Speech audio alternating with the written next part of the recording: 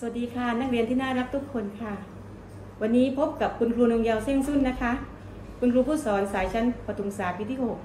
6 ในกลุ่มสาระคณิตศาสตร์นะคะ ซึ่งเรามี 3 คนมีคุณครู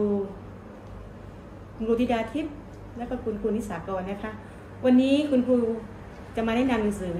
ซึ่งจะใช้ในสัปดาห์ที่ 5 สัปดาห์นี้นะคะ ตั้งแต่ 14 ถึง 18 มิถุนายนนะคะ จะมีหนังสือคณิตศาสตร์เล่มหนึ่งครับลูกๆ จะเป็นเนื้อหาส่วนมากนะคะ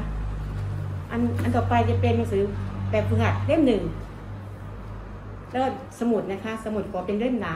นะคะอย่างนี้นะคะ ซึ่งลูกๆมีแล้วทุกคนนะคะ ลูกๆสามารถที่จะดูคลิปวิดีโอนะคะคลิปวิดีโอ จะดู 3 คลิปนะคะ ในบทที่หนึ่งนี้จะเป็นเรื่องเกี่ยวกับ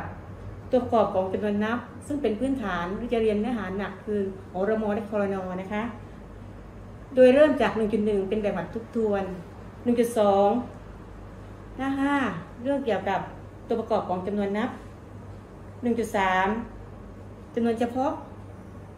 1.4 ตัวประกอบเฉพาะ และ 1.5 การแยกตัวประกอบ สรุปแล้วตั้งแต่หน้า 5 ถึงหน้า 12 นะคะ ถ้าลูกๆดูวีดีโอแล้วยังไม่เข้าใจเท่าไหร่ ลูกๆสามารถที่จะดูเนื้อหาได้จากหนังสือเรียนนะคะอย่างนี้นะคะ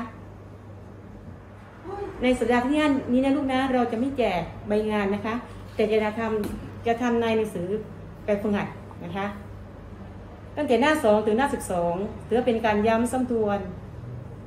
ลูกๆคงทำได้แน่นอนเลยนะคะ ถ้าลูกเวลาเวลาเหลือให้ลูกท่องสูตรคูณ นำมาใช้ห้องในเรื่องนี้ตัวประกอบของจำนวนนับจะใช้สูตรคูณมากเลยนะคะโอกาสนี้ขอขอให้ลูกๆ มีความสุขสนุกในการเรียน และก็ปราศจากโควิดนะคะ แล้วเจอกันในสัปดาห์ที่ 6 นะคะ สวัสดีค่ะ